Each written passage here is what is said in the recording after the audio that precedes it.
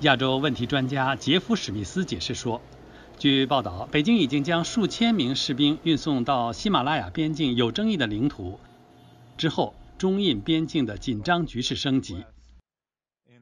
Chinese forces appear to have uh, crossed the line of actual control uh, or are in a sort of disputed area between claims of both countries and set up tents, set up camp uh, in, a, in an attempt to pressure India to stop uh, construction of new infrastructure along the border. 特朗普总统在推特上提议调解他所谓的他们目前激烈的边境争端，但是包括史密斯在内的专家都推测北京或新德里不会接受他的提议。You know, there were a few points in the in recent years where President Trump offered to play mediator with between India and Pakistan on, on the Kashmir question.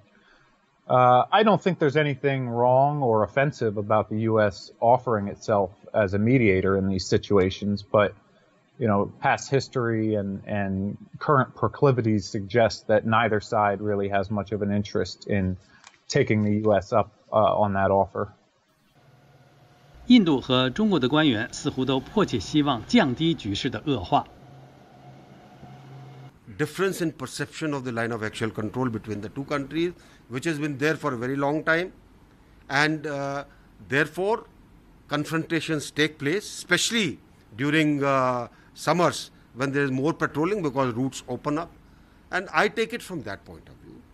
下面的反应来自北京。目前， 中印边境地区的局势总体是稳定的、可控的。中印之间有完善的涉边机制和沟通渠道。专家说，保持局势得到控制和维持和平，符合印中两国利益。美国之音塞内报道。